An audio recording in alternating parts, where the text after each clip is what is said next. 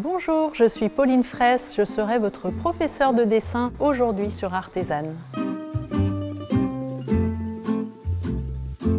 Dans ce second cours autour du croquis sur le vif, je vais vous montrer comment dessiner la ville de Paris. Le Paris qui fait rêver, ses monuments, ses vues majestueuses, mais aussi ses lieux de vie, commerces, cafés, piétons ou encore les vélos. Quels détails capter? Comment distinguer les différents styles architecturaux? Accessibles aux débutants ce cours vous apprendra à varier les points de vue, à créer des angles originaux, à exprimer par le dessin la diversité des matériaux et des proportions, tout en réalisant des croquis rapides permettant d'avoir des résultats instantanés. Vous entraînerez votre œil à repérer les détails et à les retranscrire rapidement sur le papier pour créer votre version de Paris et pourquoi pas ensuite dessiner d'autres villes du monde. Ce cours est disponible en illimité où vous le souhaitez, quand vous voulez. Alors à très vite sur artesane.com.